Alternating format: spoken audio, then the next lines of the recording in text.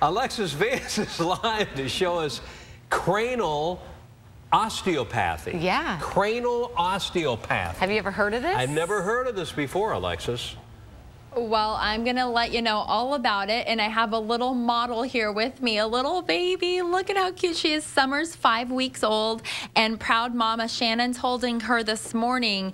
And uh, they're going to show us how this works. I'm with Dr. Gailius. He's at the uh, Midwestern University Clinic out here in the West Valley. And this really helps newborns with what?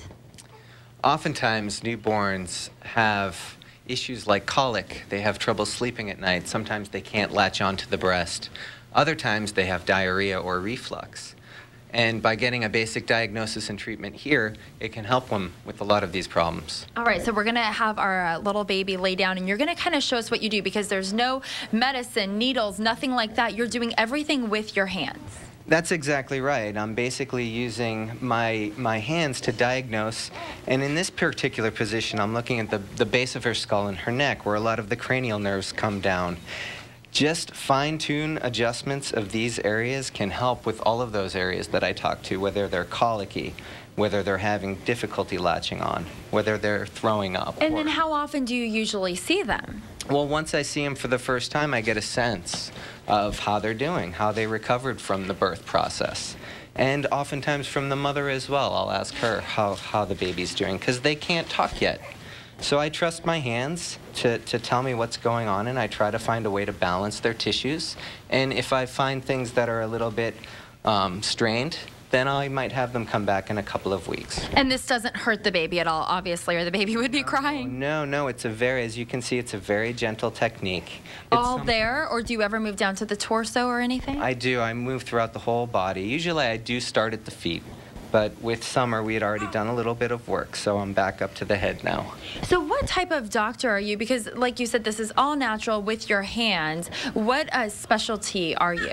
It's actually called neuromusculoskeletal medicine. Uh-huh. Um, it's a specialty of osteopathic medicine where we use our hands to diagnose and treat in addition to using medicines and procedures to help people with overall body care. But you would only see a baby here at the clinic if they had a problem. You don't typically just see every single baby that comes here, only if the mother or father has a complaint or a concern.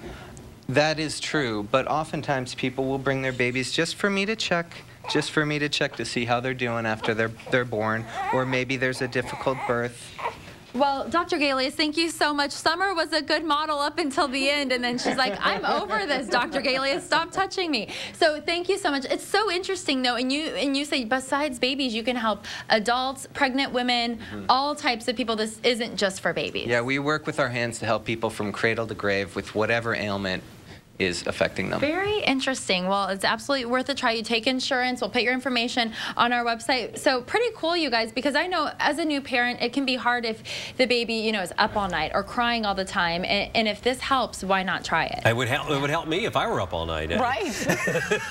he works on adults too. Use a little massage every Senior now. citizens, Rick.